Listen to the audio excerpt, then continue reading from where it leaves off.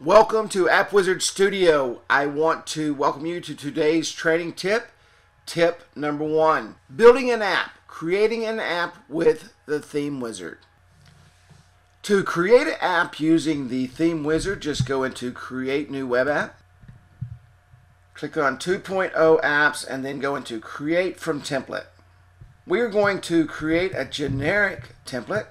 Scroll down to you find the generic templates Select your template,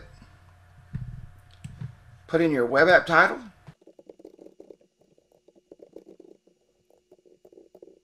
upload your header image. I'm going to pull an actual header image that I have built so we can use the colors. Header images can be 500 by 277 or larger or smaller depending on uh, the height that you want. 277 is a standard height of a business card that you scan and cut. We will upload the image icon, the business name, click to call phone number, the work number, we'll just copy and paste that. That is the same.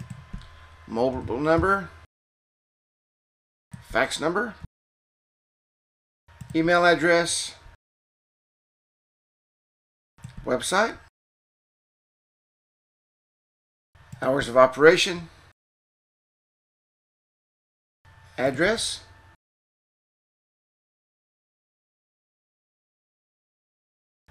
Put in their Facebook page if they have one. And their Twitter page